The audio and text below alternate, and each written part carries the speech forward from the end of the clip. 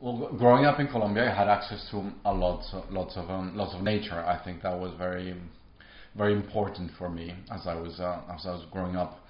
Um, my parents are from from Cucuta, this small town in the border of Colombia and Venezuela, and I used to spend a lot of time in farms and farms of my friends of my parents. Um, I rode horses when I was growing up, and and, and yeah, I, th- I think I just had a, a, a genuine and kind of natural fascination with with animals and wildlife. Um, I didn't know what I wanted to to be when I grew up. I suppose um, artist was definitely up there. I um, I I that's one of the things I, I tended to to gravitate to um, as I was growing up. Um, but um, but I wasn't quite sure what it meant to be an artist. I, I didn't really know what what the what the what that entailed. Um, I took a gap year between high school and college, and I went to to study art in Italy, and um, and that kind of like strangely enough shied me away away from from art um, because it was very very classical and it was like new drawing and it was pastels and it was kind of like a very antiquated um, notion of, of what it is to be an artist. So after graduating from, from university for my undergrad, I worked in, in New York for, for seven years. I was working in, in advertising.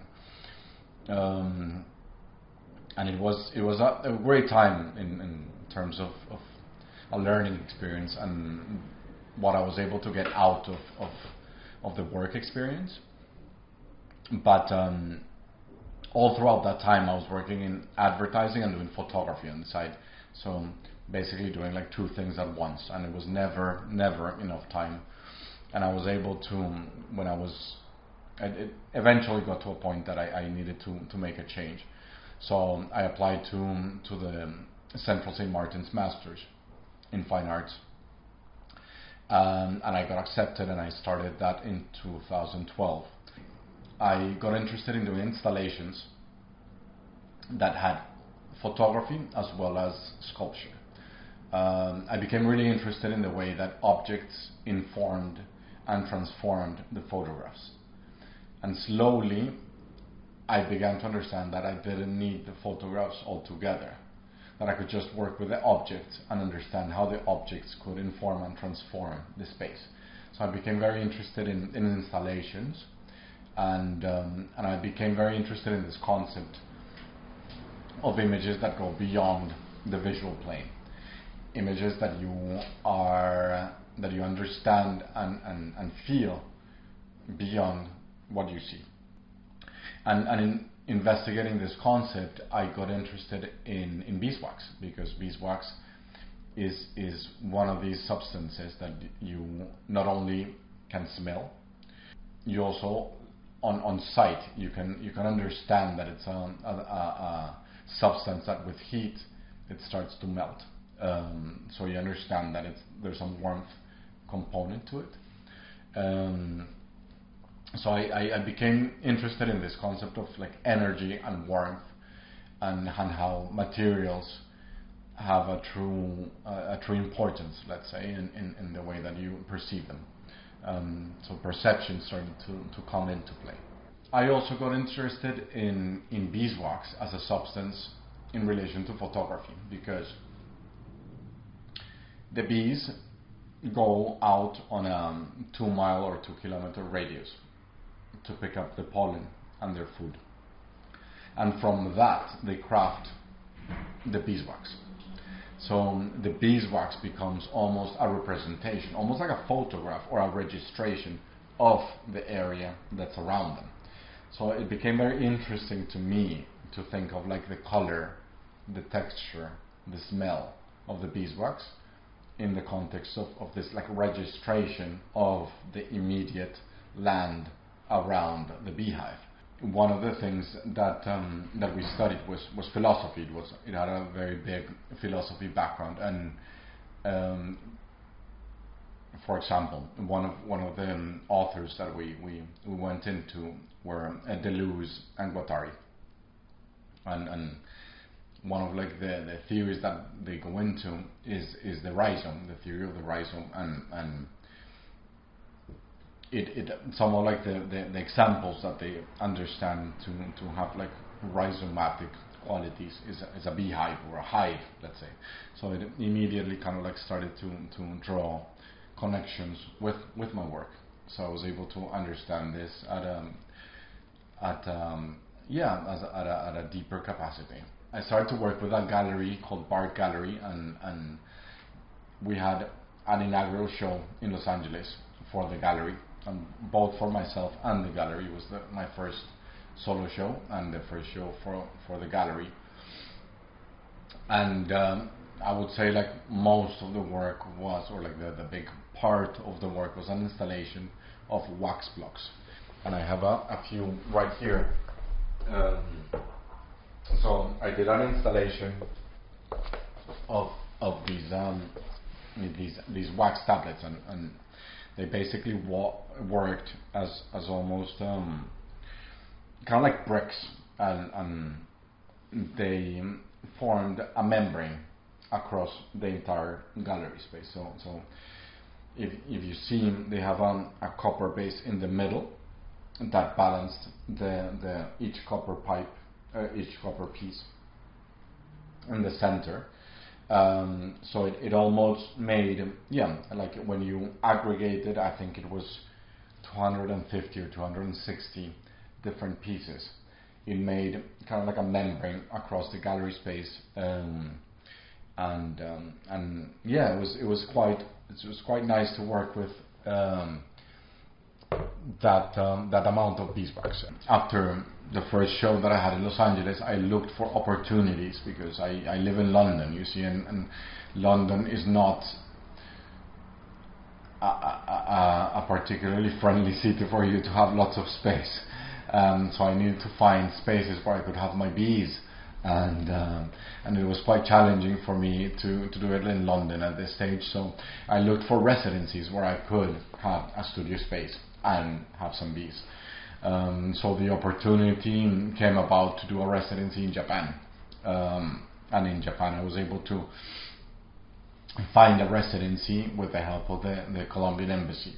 So I started to, to work with, with Mr. Fujita.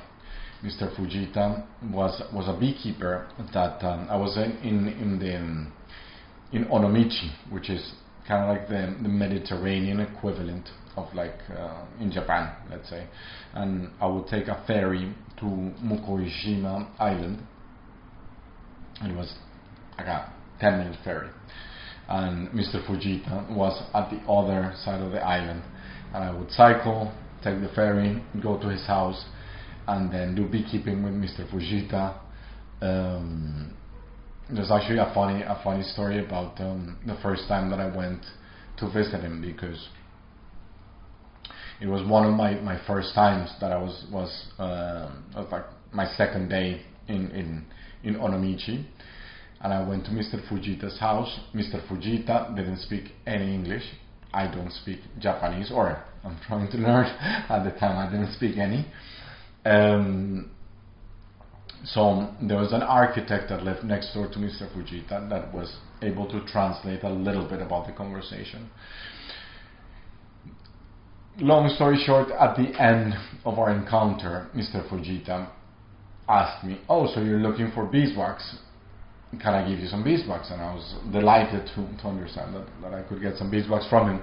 So Mr. Fujita took a, a transparent garden plastic bag and with, with a kind of machete started to cut pieces and sides of the of the of the frames of his beehives and started started to put everything into this clear plastic bag. And then when it was three quarters full, he just handed it to me. and I didn't know what to do because I was on a bicycle. so, but I didn't want to refuse the generous offering that Mr. Fujita had given me. So, of course, I accepted the offering. and then I had to tie the plastic bag onto my backpack I had a, a bicycle that was like a road bicycle, so like one of those that are like very long bicycles. So I had to ride back 10 minutes in my bicycle with a bag of bees on my back. I could hear the buzzing of the bees. I'm sure some of them were like getting out of the bag when I got to the ferry station. The ferry operator was like, he looked at the bag and he looked at me and was like, Hachi, no. Hachi, no. Hachi means bees, and obviously he saw a transparent clear bag full of beeswax, honey, and bees, and he immediately said, like, you can't go on to the ferry with a bag of bees. So I just waited and, and proceeded to wait 10, 15 minutes, 20 minutes, half an hour, 45 minutes until the ferry operator understood that I didn't have any other ways of getting across. So he was like, okay, you, you can go in. You can go in. It was an outdoor, I mean, it had a, a um, outdoor, it had a, um, didn't have a roof basically. so I was able to get on the ferry and, and transport the bees safely into my studio. I quite like the idea of understanding art in the context of other other areas. Um, so I think for me there are natural references in terms of like artists um, and and other people that work within similar type of um, know subject matter or materials. But um, perhaps what's most interesting for me at this stage is is understanding maybe like people from different fields and and what they're like talking about in relation to the the things that I'm interested in. So more more than like references, I, I would say these are are subjects of research. Um, one of them would be Thomas Seeley, and he's one of the, the main guys that, that discovered swarm intelligence, or like not discovered, but like really studied swarm intelligence at length. Um, he was a, a, insect biologist that worked in Cornell University, and he really kind of like understood the, the, the, the functions and the dynamic of the swarm. So recently I've started to work with um, a series based on, on tardigrades, which are micro, micro animals. They're very, very small. But they're animals that have these like superhuman characteristics. They can basically die when they're dehydrated, um, spend decades in, in this in a, like a basically a death state, and then they come back to life when they're rehydrated. Um, they can survive in outer space. They can survive in extreme heat. They're like found in at the foot of like active volcanoes, and basically they they they, they are. Um, kind of like they're, they're, these very interesting animals that, that, that are quite interesting precisely in their in their characteristics.